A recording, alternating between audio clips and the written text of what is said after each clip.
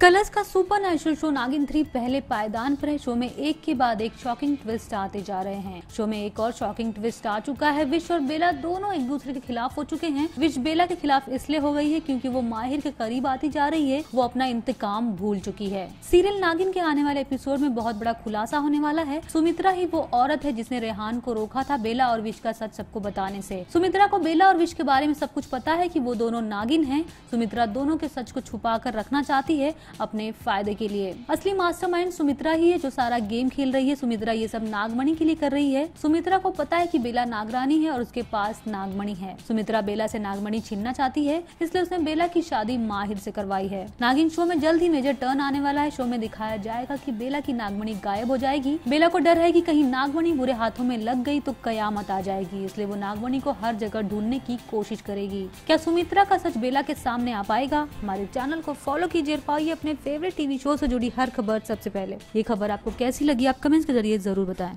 Colours के popular super thriller show नागिन में ड्रामा तो होता ही रहता है। वहीं शो में फिर हुआ बेला और माहिर का रोमांस जी हाँ शो में हम देखेंगे किस तरह से माहिर और बेला की नजदीकियाँ बढ़ेंगी। और देखिए तो बेला कैसे माहिर की ज़ुबान से नहीं, बल्कि आँखों ही आँखों करती हैं इशारे। वैसे तो माहिर बेला से पहले अपनी शर्ट माँगता है। बेला पहले तो माहिर की शर्ट ढूंढ कर देती है, लेकिन शर्ट को देखकर बेला को याद आ गई है वो प्यारे लम्हे, जहाँ माहिर ने बेला को ठंड से बचाने के लिए अपनी शर्ट निकाल कर दे दी थी।